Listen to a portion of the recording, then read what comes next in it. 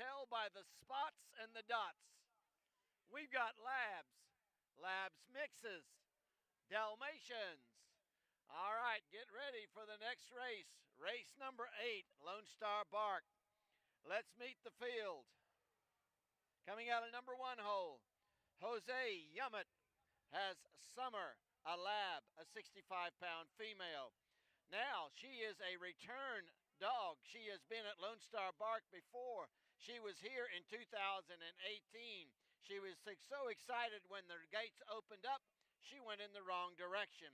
However, she came back. She won in 2019. She is back to defend her title because we had no dog racing last year. All right, number two hole. Hallie Nance has got Remy, a lab mix, a 50 pound female. Her favorite toy is a hot dog, and she'll jump into the pool or any body of water she can see if she's got the chance. Keep out of the lake. All right. Lauren Brewer, the three, Shiner, has a Labradoodle, a 60 pound male. Shiner is the Shine Boy dog model competing for the second time today. He has over a thousand followers on Instagram. Coming out of the number five, uh, number four hole, Leanne Wilson with Atlas, a lab blackmouth cur, a 55 pound male. Atlas is an amazing family dog that they rescued from the shelter, and he is a beloved pet of their two children. And then coming out of the number seven, uh, the number six hole, is going to be Sarah Sutton and Bailey Raider, a Labrador. Bailey Raider has participated in Lone Star Bark twice and placed both times.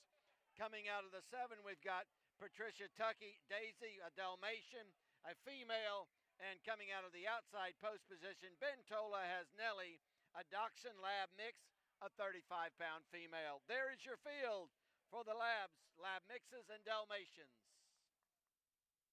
Stand by for a start.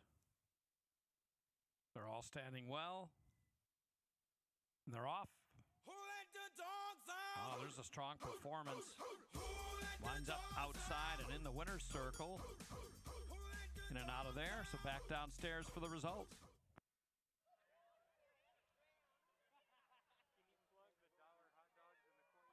Sure.